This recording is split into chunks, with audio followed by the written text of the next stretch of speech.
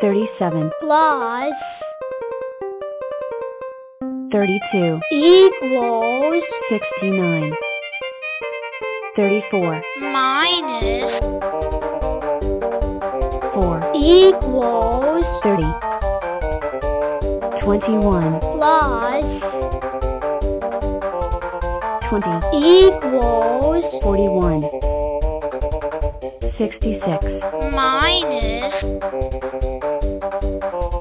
65, equals 1, 37, plus 58, equals 95,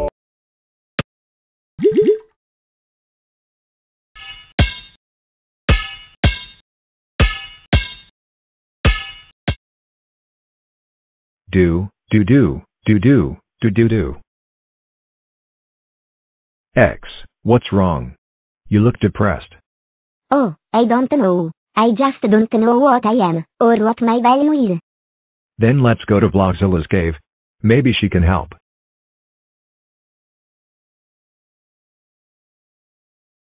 So this is Blockzilla Cave? Yeah. We make sure that Blockzilla is not alone. Put you on one side. And take something else.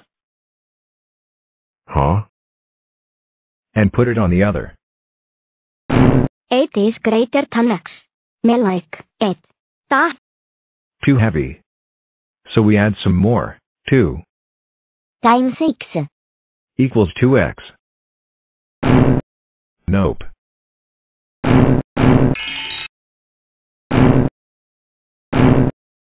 Ooh. It's equal. Now we can figure out your value. But for, there are too many numbers.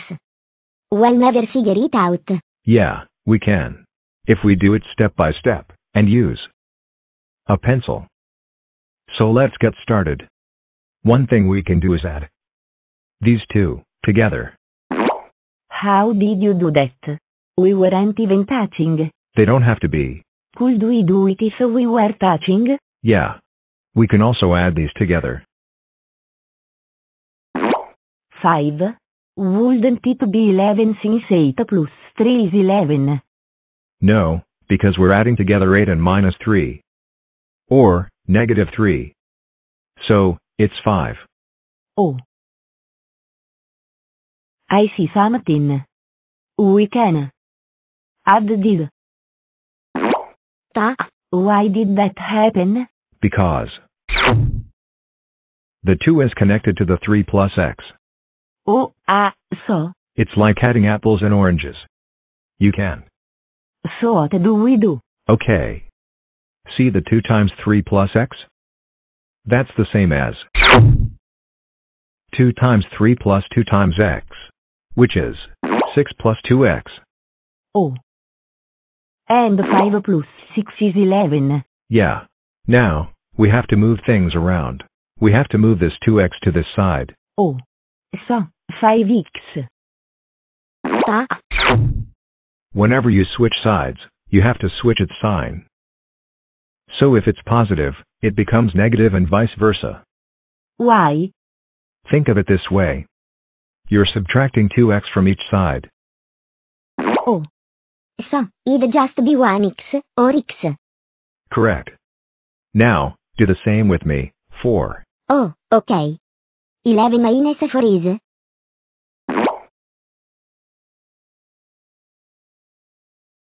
Seven. So now what do I do? What's there left to do? Oh.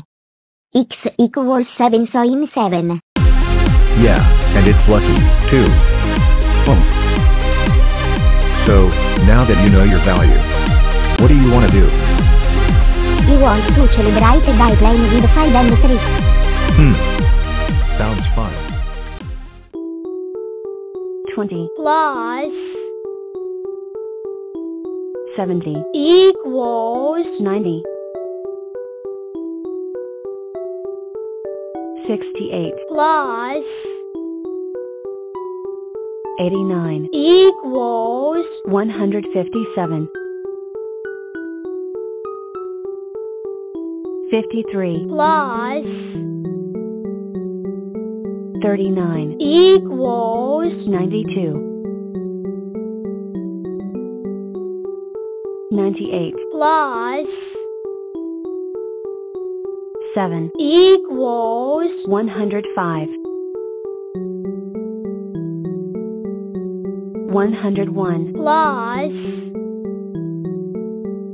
34, equals 135,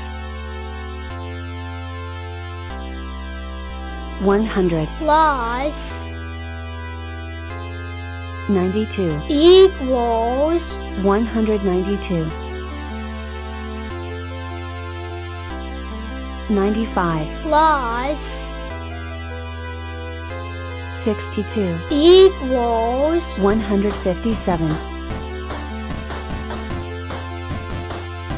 9, plus 26, equals 35, 8, plus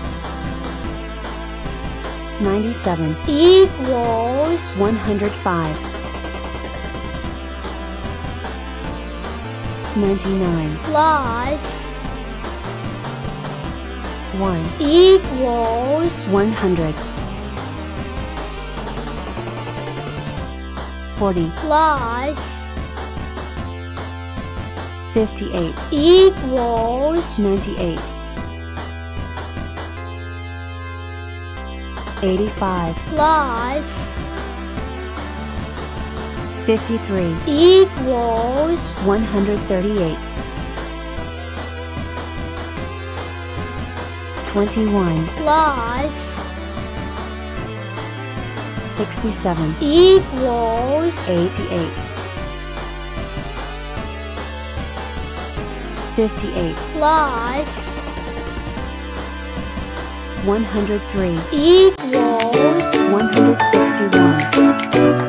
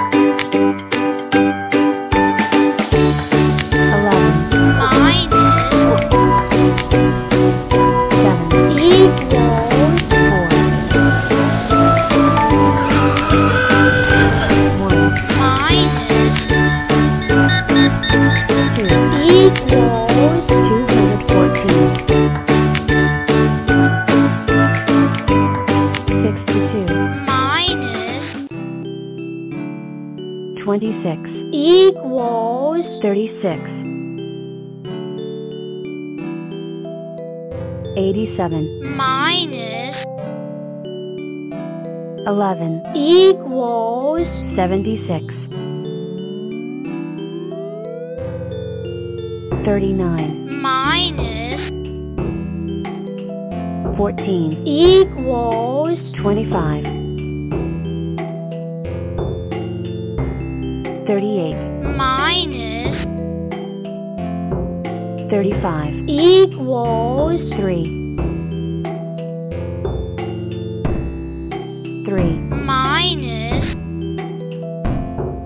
2, equals 1, 16, minus 4, equals 12, 43, minus 27, equals 16, 1, minus 2, equals 214,